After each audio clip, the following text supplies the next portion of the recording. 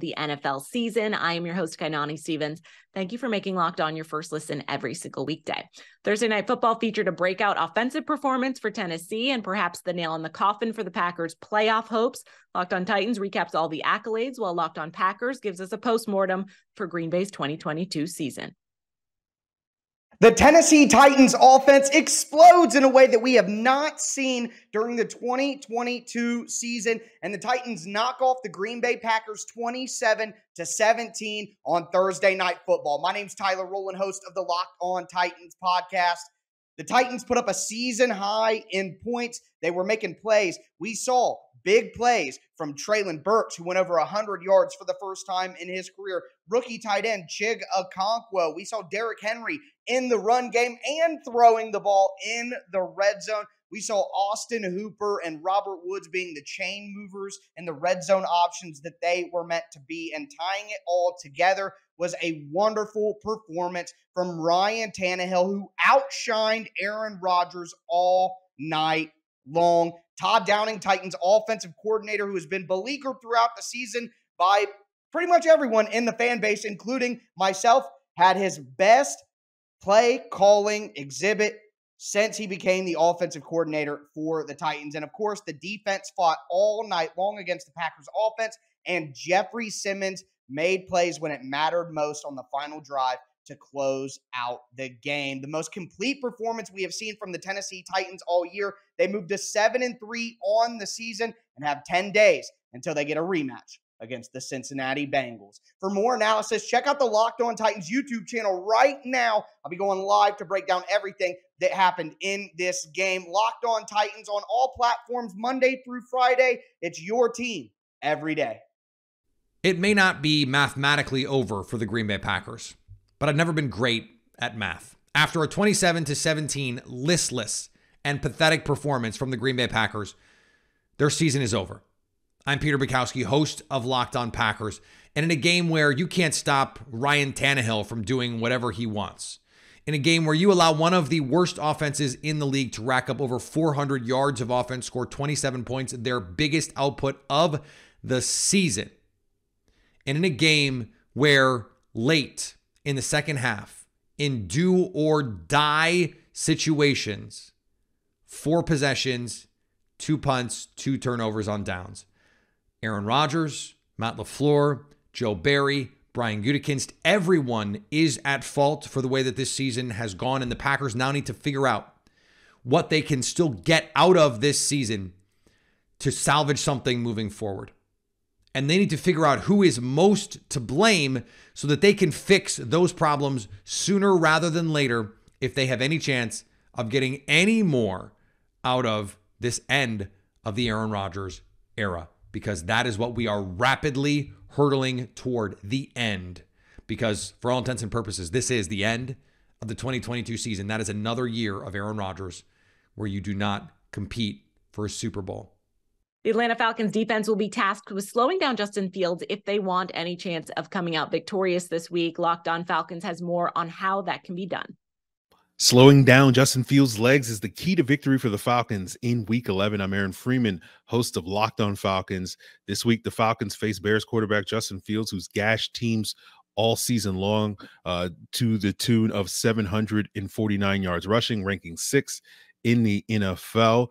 And the Falcons haven't faced a running quarterback of Fields' ilk thus far this season and struggled to handle mobile quarterbacks a year ago. They did give up 81 yards rushing on four carries to Saints hybrid player Taysom Hill in week one. And they're going to have to do better than that if they stand a chance of slowing down Fields and this Bears offense, who have embraced Fields' running ability the last four weeks, averaging 31 points per game. And Fields has racked up nearly 500 yards rushing and five rushing to- touchdowns uh, in that four game span. The Falcons will count on the athleticism of linebackers like Troy Anderson and Michael Walker to slow down Fields this weekend. Will it be enough?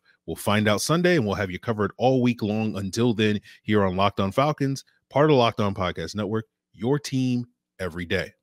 The Browns and Bills game is going to be played in Detroit thanks to a massive snowstorm headed towards New York, but Buffalo may not have the home field advantage exactly. The Browns are still going to need a lot more than just that if they want to get a win against the Bills. Locked on Browns explains. Hey there, Cleveland Browns fans. Jeff Lloyd, host of Locked On Browns. A lot of Browns fans anticipating the return of Deshaun Watson in two weeks. Question will be what exactly will be left for Deshaun Watson and the Cleveland Browns to play for? That will be defined Sunday when the Browns make a trip to Buffalo or Detroit or somewhere else, possibly remote, due to a major, major storm hitting the Buffalo, New York area. The Browns at three and six, three games under 500 with eight to play. This is about as desperate as desperate gets.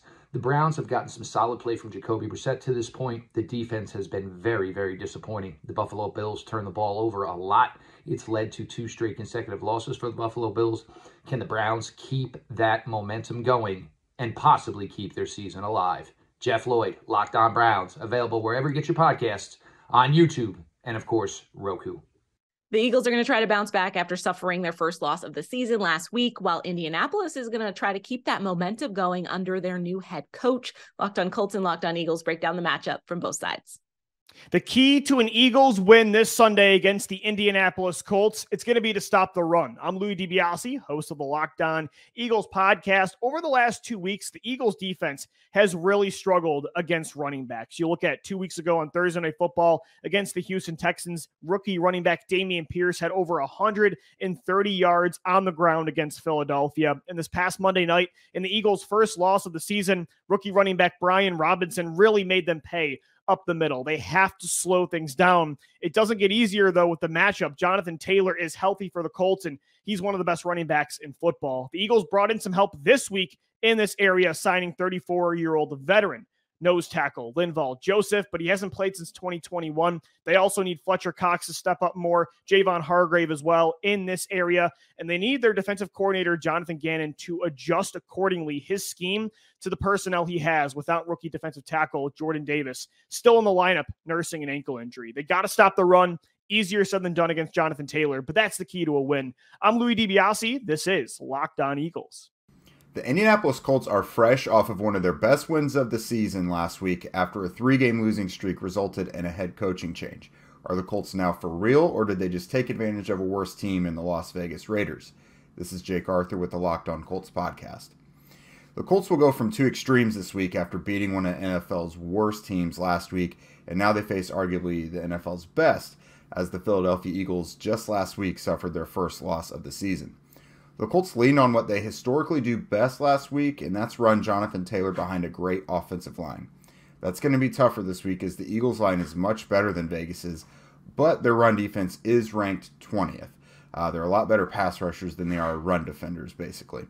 It'd be wise for the Colts to try and establish Taylor and then allow quarterback Matt Ryan to pick up things over the middle of the field like they did last week. This matchup pits two teams that are quite familiar with one another. Uh, Eagles head coach Nick Sirianni and defensive coordinator Jonathan Gannon both spent three years here in Indy from 2018 to 2020, so it should definitely be a good one to watch.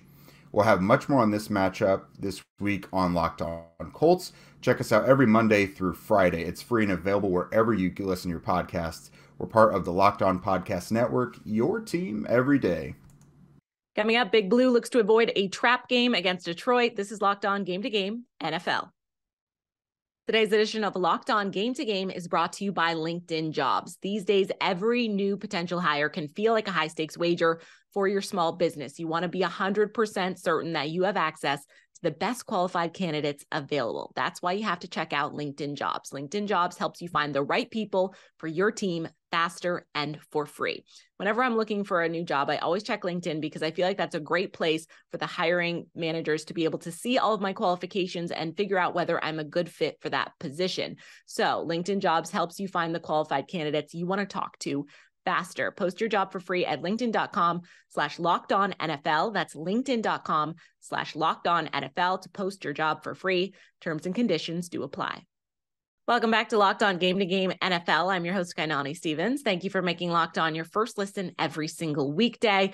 The Rams, they're still reeling after their loss last week as they head to New Orleans. Locked On Saints is calling for more Taysom Hill if they want to win it this time against LA. It's time to feed Taysom Hill. I'm Ross Jackson, host of the Locked On Saints podcast. If the New Orleans Saints want to get a win at home against the Los Angeles Rams, give themselves a little bit of life, instill a little bit more confidence in that roster, they're going to have to feed Taysom Hill. Listen, the New Orleans Saints have already have already said that Andy Dalton is going to be the starter. Andy Dalton might be the starter, but Taysom Hill needs to be the star. He has to be the feature of this offense on Sunday. You want to stay away from the Los Angeles Rams defensive interior because of Aaron Donald, then that means you're going to have to win around the edge, and nobody does it. Nobody on this New Orleans Saints roster wins the edge like Taysom. So it's time to toot toot and ride the Che train all the way to a hopeful victory for the New Orleans Saints as they look to show a little bit of life here late in the 2022 NFL season. For more on this matchup, the New Orleans Saints, and even already starting to turn the page to the offseason a little bit, make sure you're checking out the Locked On Saints podcast, free and available on all podcast apps and on YouTube as well. Part of Locked On Podcast Network, your team every day.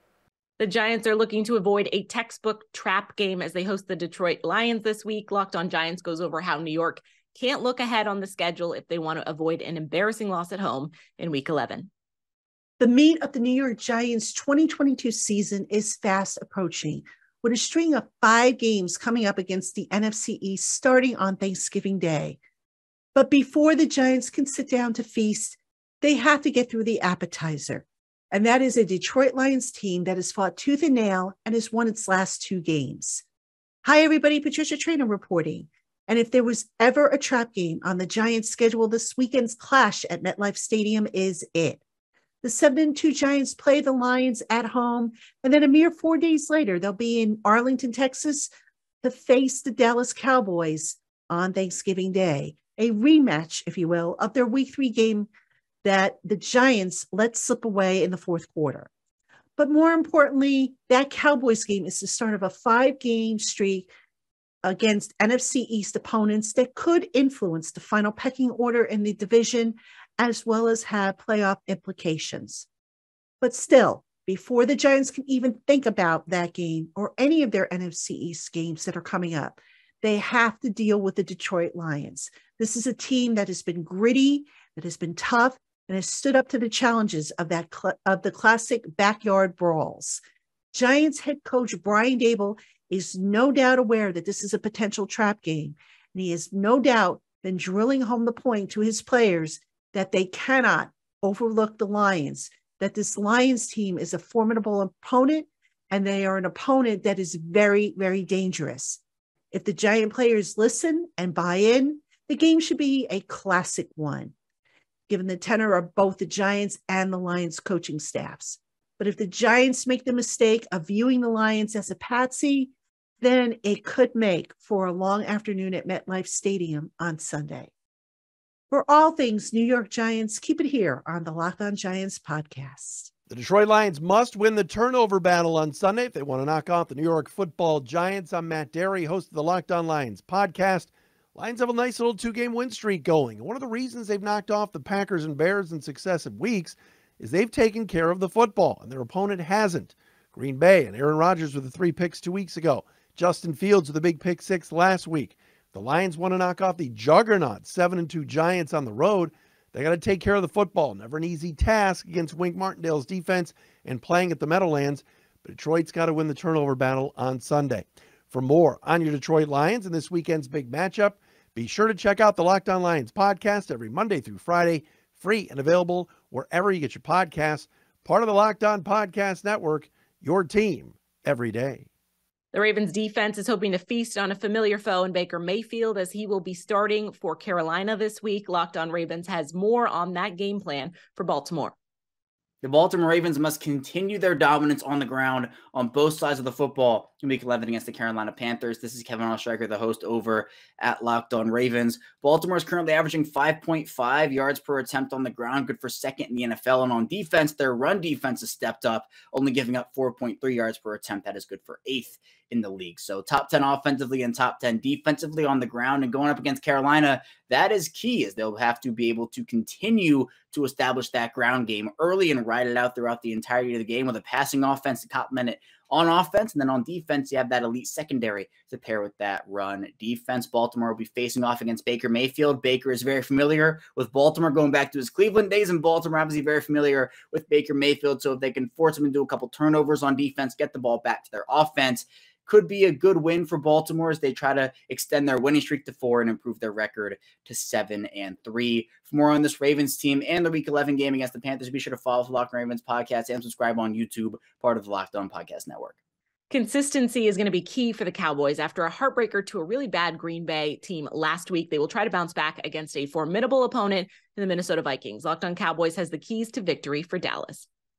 If the Dallas Cowboys are going to win this weekend against the Minnesota Vikings, they have got to find some consistency in their game.